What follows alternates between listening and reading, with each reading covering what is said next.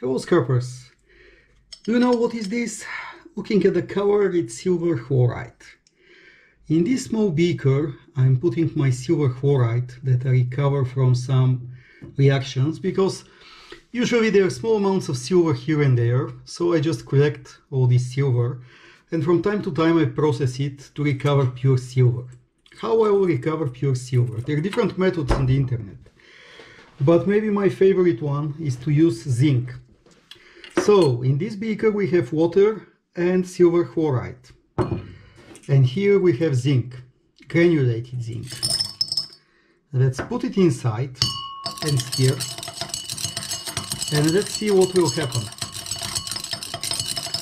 So there should be a reaction going. And in this reaction, let me move the camera. And in this reaction, silver should be going into the silver metal state, silver zero, and zinc should be going into the solution. So zinc is replacing silver, let's say it in this way. Just wait a little and show you what's going on in a couple of minutes.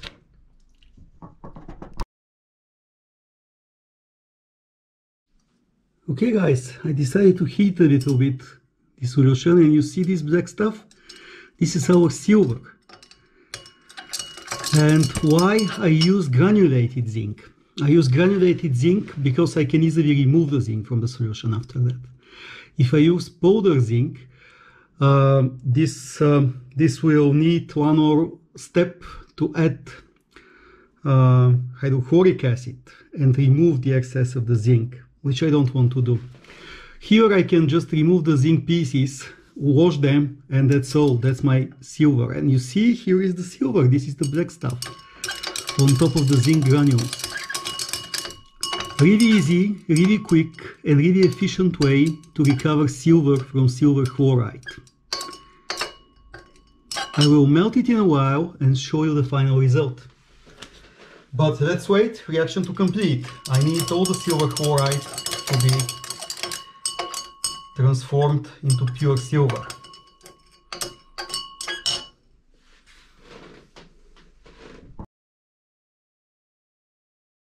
Took maybe less than 10 minutes.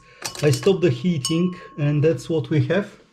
We have our silver, pure silver and zinc. But zinc is on big pieces, so there is no need to do anything else. I prepared here a small filtering. Uh, so yes, I prepared this small funnel here and I'll just filter my silver now. Let's, let's do this. I don't need any uh, vacuum or anything else because filtering will be really quick you see how it's happening it's really really quick filtering process.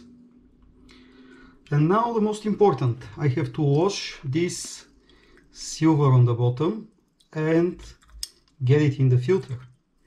Without the zinc of course. So I need only the silver. Here we go. So I'll filter this solution and show you the final result and melt it but here is what we have on the bottom. This is zinc and pure silver. That's the final result.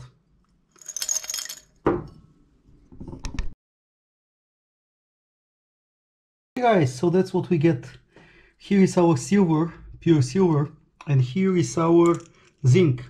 We still have some small amount of silver on top, but we reuse these zinc pieces. So Let's just dry them and keep them until the next batch of silver we have to process. About the silver, now I will melt this and show you the final result.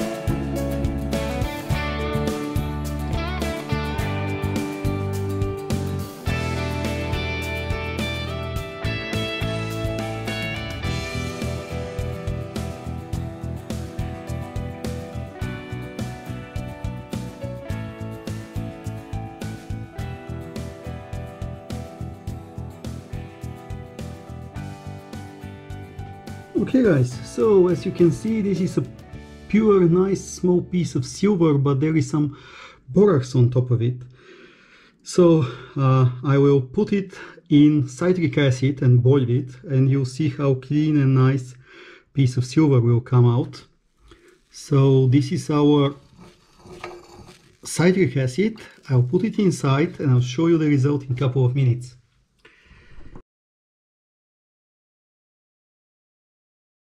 After about 10 minutes you see that our silver is quite clean so it's time to remove it and measure it.